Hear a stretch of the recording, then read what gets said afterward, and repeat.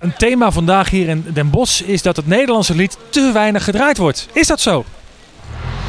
Ja, het kan niet genoeg zijn natuurlijk. Ik, ik zeg altijd maar ja op dit gebied. Het eh, Nederlandse lied is natuurlijk, eh, ik denk, veel populairder dan mensen denken. Ehm, ik merk het eh, vooral als ik dus ga zingen. Hoeveel mensen dat er zo enthousiast zijn over het Nederlandse lied. Ja, het leeft eigenlijk, de mensen doen meer mee met het Nederlandse muziek en ze springen meer met Nederlandse muziek. Het volkse wat ik het over heb.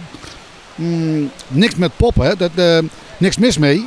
Maar met popmuziek is dat vaak toch wat minder, vind ik. Maar zou Henk Bernard op 3FM passen? Nee, daarom. Nee, dit is, ik zit in, de- in, in, het volkse muziek, zeg maar.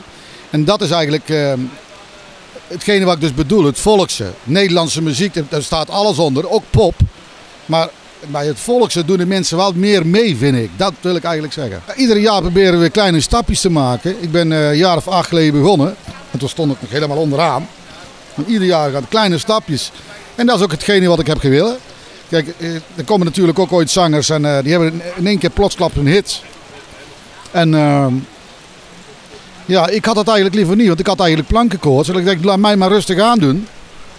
En het is eigenlijk zo eh, uitgekomen zoals ik eigenlijk zelf heb gewild. Maar welke wensen heb je dan nog? Bijvoorbeeld eh, dit jaar eh, de Brabanthallen. Ik hoop dat, het, eh, dat, het, ja, dat er heel veel mensen komen dat we het eigenlijk kunnen uitverkopen. En, ja, en- dan nog liedjes blijven maken, zeg maar. En, als we ieder jaar een klein stapje vooruit zijn, tenminste zoals het nou gaat, ben ik al heel blij. Maar je moet wel altijd streven naar, natuurlijk naar het hoogste eigenlijk. En ja, daar zijn we eigenlijk goed, goed op weg.